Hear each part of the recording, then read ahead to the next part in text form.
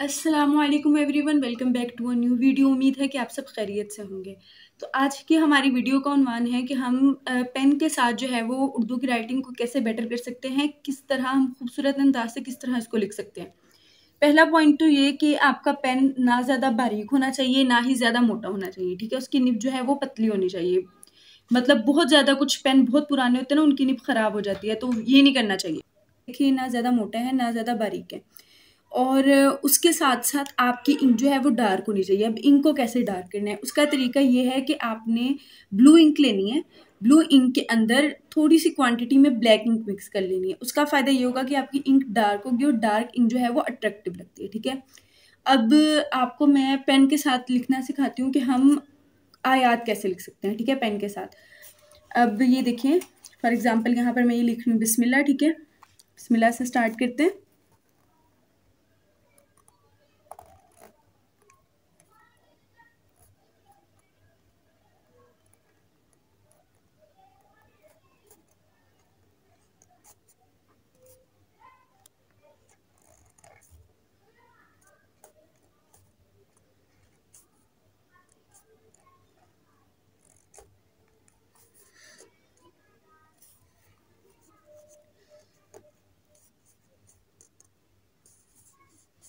ठीक है, ये हमने लिखा है बिस्मिल्लाहिर्रहमानिर्रहीम, ठीक है? अब इसी के साथ साथ हम लोग लिखेंगे, इसका तर्जमा लिख लेते हैं। अब हम इसका लिखेंगे तर्जमा।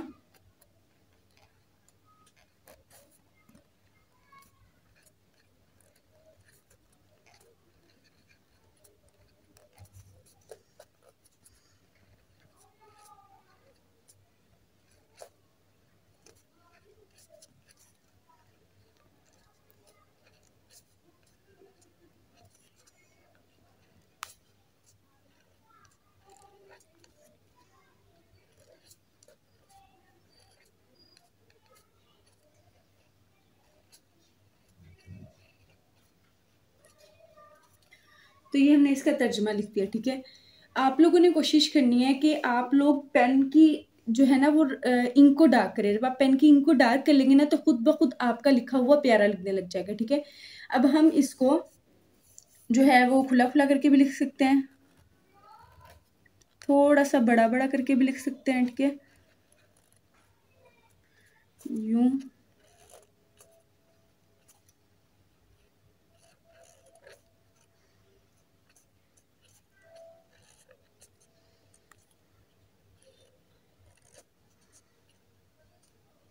ठीक है? हम इसको थोड़ा सा खुला करके भी लिख सकते हैं। इसी तरह इसको भी।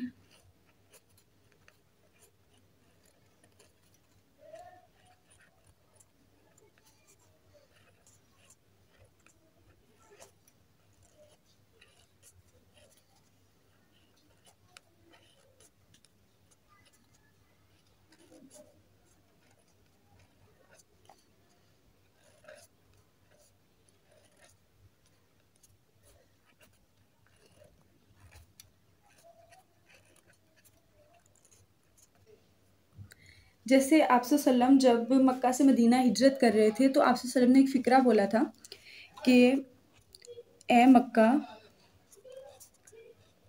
तू मुझे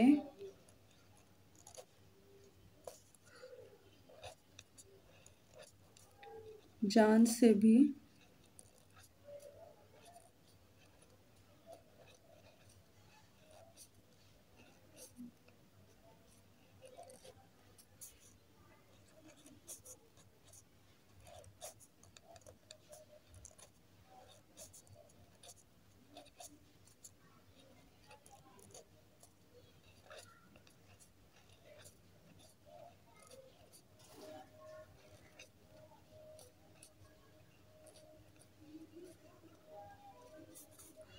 अफसर सलम ने कोटेशन बोली थी ठीक है?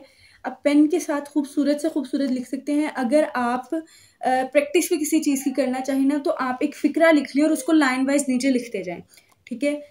जैसे अब हम कुछ भी लिख लेते हैं कि आ, मैं गवर्नमेंट स्कूल में पढ़ता हूँ ठीक है?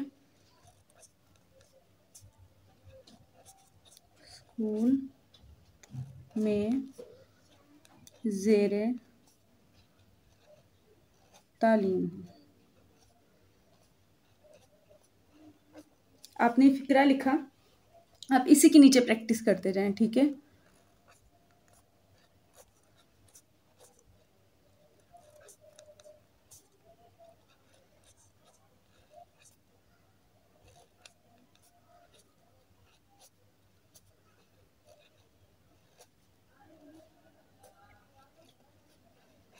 अब इन्हीं चीज़ों के नीचे प्रैक्टिस करते जाएँगे ना तो आपको इजीनेस होगी, ठीक है? आप इसको मार्कर के साथ भी लिख सकते हैं, ठीक है? अगर आप इसी चीज़ को मार्कर के साथ लिखेंगे ना तो आपने ये जो निब है, ठीक है? इस निब को यूँ रखना है, ठीक है? राइट साइड पर रखना है इस निब को, जब आप उर्दू में लिखेंगे। और आपने इसको यूँ ही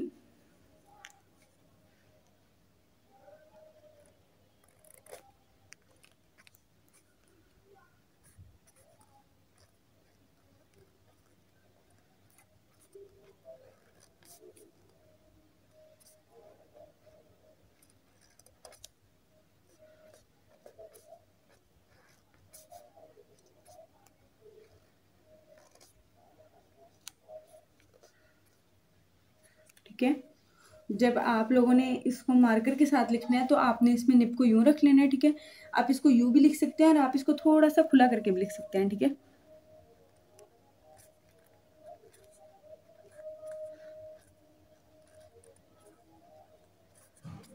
यूँ करके।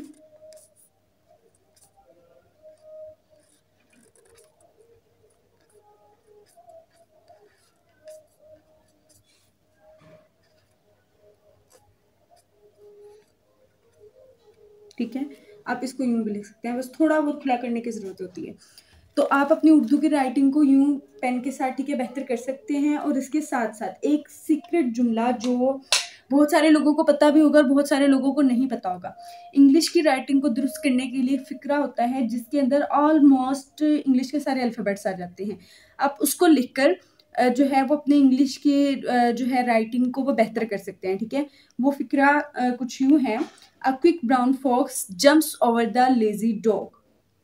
This is this sentence जिसको आप लिख कर बार बार प्रैक्टिस कर कर अपनी इंग्लिश की राइटिंग को बेहतर कर सकते हैं, ठीक है? A quick brown fox jumps over the lazy dog इसमें ऑलमोस्ट सारे अल्फ़ाबेट्स आ जाते हैं इंग्लिश के। तो ये कुछ छोटी मोटी सी ट्रिक्स थी, ठीक है? तो आप लोगों ने कोशिश करनी है कि आप लोग अपनी राइटिंग को जितना अट्रैक्टिव बनाएँगे, उतनी ही ज़्यादा जो है वो आपका बोर्ड चेकर जो है वो अट्रैक्ट होता है आप लोगों से। तो उम्मीद है कि आप लोगों के लिए वीडियो हेल्पफुल रही होगी और कैलीग्राफी की वीडियोस का काफ़ी लोगों ने मुझे मैसेजेस किए थे। इंशाल्लाह इंशाल्लाह वो वीडियोज़ भी बहुत जल्दी आएँगी। तो आप लोगों ने जो है वो इस चैनल को सब्सक्राइब ज़रूर करना है, इस वीडियो को लाइक ज़रूर करना है शेयर ज़रूर करना है, ठीक है? उम्मीद है कि आपके लिए हेल्पफुल रहेगी बहुत शुक्रिया जजाकल्ला